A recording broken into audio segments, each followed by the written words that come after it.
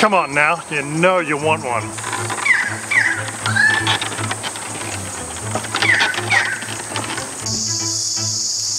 Everything fits in the back of the car really nicely and I've still got seven usable seats in the back of my car.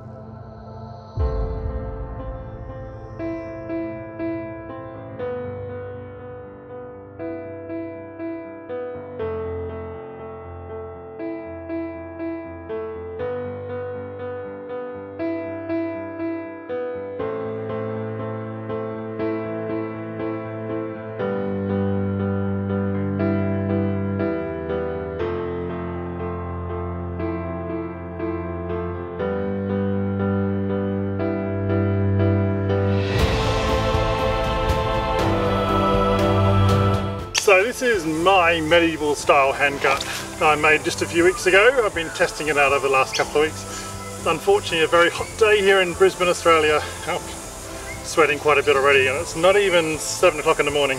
It's approximately 8 feet long or 2.4 meters and approximately 3 feet wide or 1.2 meters and the deck length is about 1.2. I find this absolutely fine. This works, uh, this is designed for medieval reenactment events and SCA events, LARP events, cosplay, that kind of stuff. This isn't strictly medieval and I'm not portraying this strictly as a medieval item. There are a couple of areas I've cheated on. If we take another look at the wheels, we can see that they're made of sections. So there's what, six different sections here, and each section is actually held in by wooden pegs. We'll see how that works. You'll see this is a bare wooden tread, so to speak. So there's no steel rim. Steel rims were used in the Roman period in chariots and that kind of thing, uh, but not in the medieval period and definitely not for peasants. However, I may eventually put some steel rings on the actual wheel hubs themselves because that'll help hold the wood together.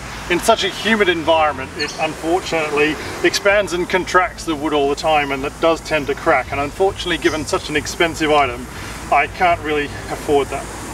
What's really interesting about the wheels here, they're not actually quite symmetrical and things weren't in the medieval period.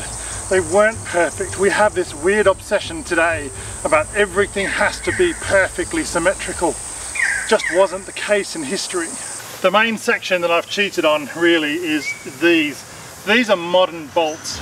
I had to use those so that I could collapse the cart and put it into the back of the car. It makes it very, very easy to deconstruct and reconstruct and I can do the whole thing in approximately five minutes tops by myself, which I think is fantastic.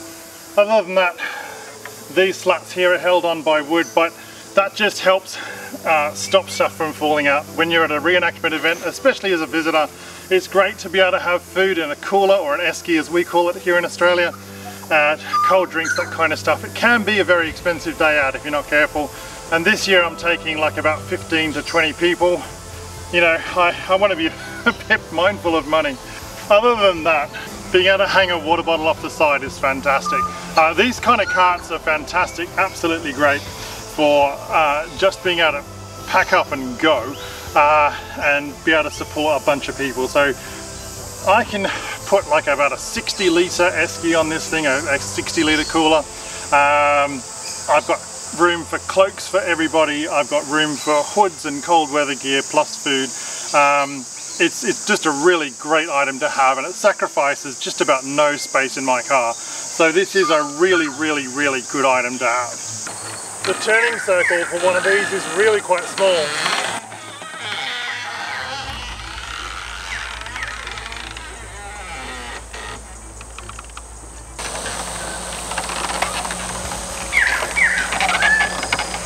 Cart like this would have been fantastically useful to most medieval peasants most people in the medieval period lived in rural communities, about 95 or so percent, uh, give or take. That's the estimates from historians anyway. Most people would have raised livestock or grown crops that then would have been sold at markets at the weekend. Many years ago I lived in a small town called Market Harborough in Leicestershire. So if I lived in somewhere say like Little Bowden, which is five miles away or so, something like this would be perfect. I could put all my stuff in there for market, a market tent, go into market, sell my stuff and go home again the same day or perhaps the following day. If it was a case I had to go home the next day, then the cart actually forms a bit of a sort of temporary shelter and that's a really fantastic benefit of something like this.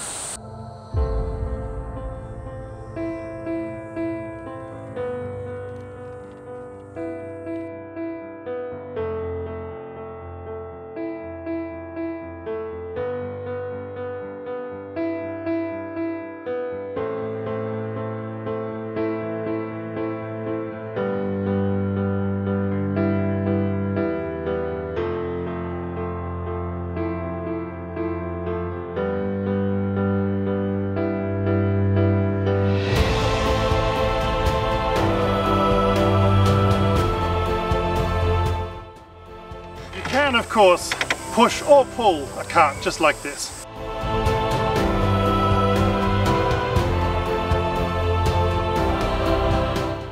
Pushing and pull or pulling the cart seem to work very different muscle groups so it's really good if you're on a day out and uh, you're getting a bit fatigued.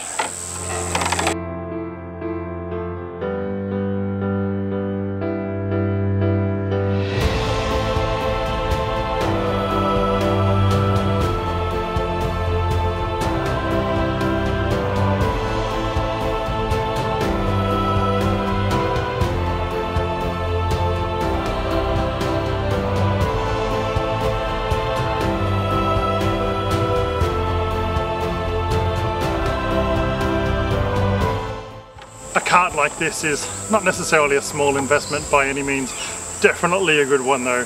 Something like this should last me about 20 or so years.